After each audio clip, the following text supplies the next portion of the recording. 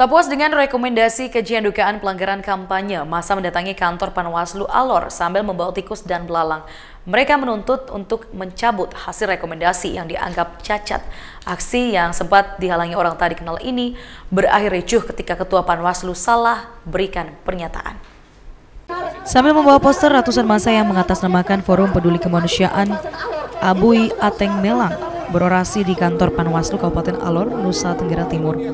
Kedatangan mereka ke Panwaslu karena tidak puas dengan hasil rekomendasi yang dikeluarkan Panwaslu terkait pengaduan pelanggaran kampanye yang dilakukan calon wakil Bupati Paket Amin.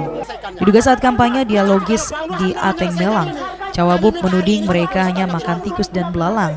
Tidak menerima pernyataan itu, mereka protes dan melaporkan kejadian ini ke Panwaslu Kabupaten. Kalau Panwas tidak menyelesaikan ini, kami minta hari ini juga polisi tangkap Irman dulu. Karena dia tidak akan bisa bertanggung jawab. Klarifikasinya sudah kami ambil, keterangannya sudah ada.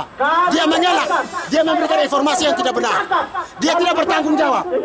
Dia mengatakan bahwa makan tikus dan belalang itu dia dapatkan dari surat kaleng. Dan itu hal yang tidak pantas disampaikan di kalayak umum, apalagi di kampanye. Laporan pengaduan yang ditindaklanjuti Panwaslu lewat Gakumdu dirasa cacat.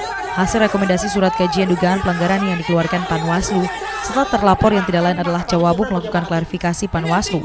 Tidak cukup bukti sehingga kasus ini dihentikan. Soal momen proses Panwas, silakan. Kami uh, bekerja secara integritas. Kami tidak punya kepentingan siapa-siapa. Tetapi kalau kami ada aturan mainnya, artinya bahwa ketika Bapak Ibu merasa kami bekerja tidak sesuai prosedur, ada Dewan Kehormatan Penyelenggara Pemilu. Silahkan diproses ke sana, kita bersidang.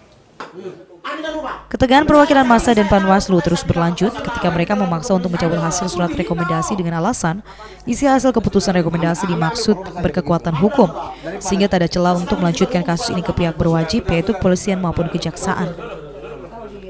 Pernyataan Ketua Panwaslu adanya kekeliruan saat menjawab pertanyaan perwakilan pendemo terkait hasil klarifikasi terlapor ke Panwaslu hingga keluarnya rekomendasi surat kajian dugaan pelanggaran menambah ricuh sehingga mereka segera membubarkan diri.